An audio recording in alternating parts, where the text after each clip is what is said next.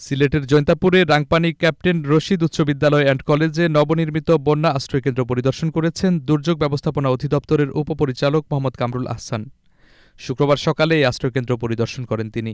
এ সময় উপস্থিত ছিলেন বন্যা ও আশ্রয়ন প্রকল্পের সহকারী প্রকৌশলী মোহাম্মদ শাকির সিলেট জেলা ত্রাণ ও পুনর্বাসন প্রকল্পের পরিচালক মোহাম্মদ নুরুল ইসলাম, জৈন্তাপুর উপজেলা চেয়ারম্যান কামাল আহমেদ, উপজেলা নির্বাহী কর্মকর্তা আল বশিরুল ইসলাম এবং জৈন্তাপুর উপজেলা ত্রাণ ও দুর্যোগ ব্যবস্থাপনা কর্মকর্তা মোহাম্মদ সালাউদ্দিন সহ স্থানীয় গণ্যমান্য ব্যক্তিরা।